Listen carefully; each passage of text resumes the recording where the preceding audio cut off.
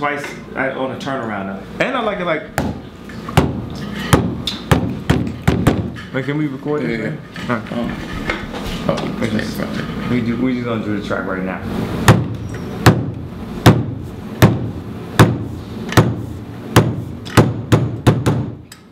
Okay. Let's um let's have a record right here. You wanna sit down and stand up? It's like I used to record people at my mama's house. I had to set the mic up. I was the engineer, producer, the runner. I had to order the food, Harold's. Start with the It's Cold Blooded, and then do the It Follow Us.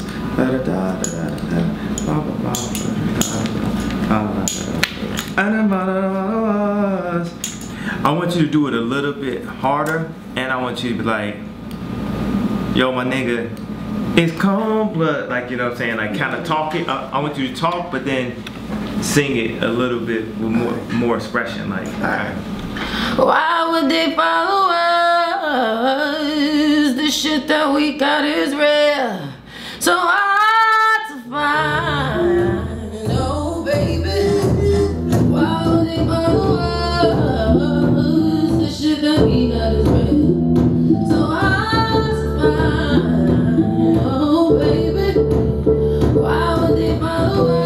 I want to keep it real raw, but I feel like I might just need a little pad to emphasize the why, why would they follow us? This should sound raw now, right? That's like the that's the direction minimalist. And like one thing I always did was move around bridges and hooks and take what would normally just be a bridge and turn that into the hook.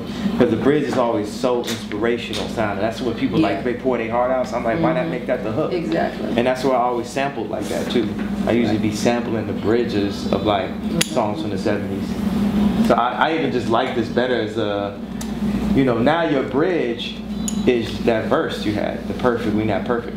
That's the bridge. Okay. And the verse is, it just start off, it's cold. Oh, yeah. I like that.